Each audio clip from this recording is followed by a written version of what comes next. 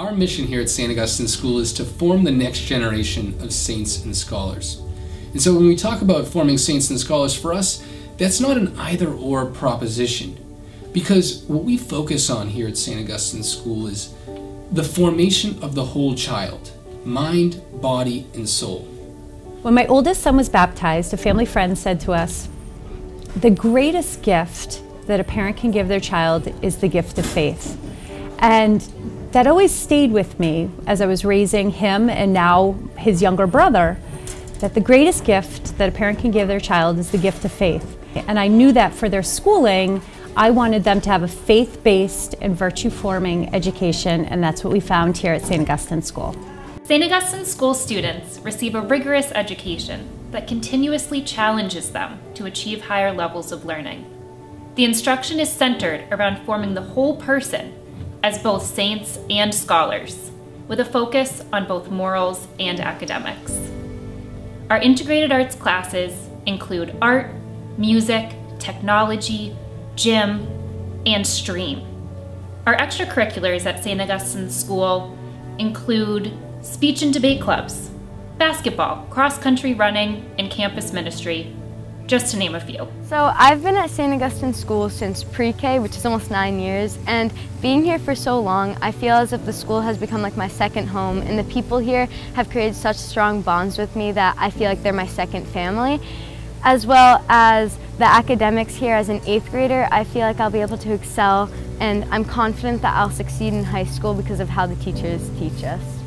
St. Augustine School was founded in 1914 by the Sisters of Notre Dame with the encouragement of the, the Augustinians who were here for, for the uh, pastoral care of the parish at that time. And as, as frequently would happen, the sisters opened the school first in their own residence, and then as soon as uh, a building, a suitable building could be built with all of the good cooperation and participation of the school parents and the parishioners, the original school building was built.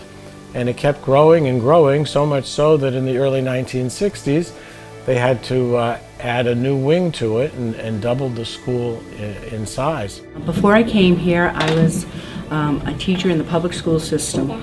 And what I noticed when I was there for 13 years, I was unable to um, find a role model that could teach the children about truth and um, love and kindness It was very difficult. So being back here at St. Augustine School, I feel I can teach the children about Jesus and God and kindness and loving, all the core values that are so important to our school. And I once heard this quote from a priest that shared that education without formation is education without a soul. I think that's so true about education in general, and I think it's also emblematic of what we seek to do here at St. Augustine. People often ask me why I send my children to St. Augustine's. And the reason is that's because parenting today is a team sport and it has to be to be successful. Children in society are continually bombarded with outside influences from social media to the internet to television. I need an extension of my family to be able to have a consistent foundation of morals, ethics and values to shape my children for today and into the future. You could say I've been at St. Augustine's my entire life, pretty much. Um, I've been teaching here for over 30 years. I was a student here. My dad was a student here. Raised all three of my children here. Um, and let's just say the school is my second family and the place I want to be. My name is Miles, and I love St. Augustine School so much. The teachers are amazing. The school is amazing. The gym's amazing. We even have our own personal STREAM lab. And then we also have our great teachers, all my friends, bunch of kids. That's why everybody loves it.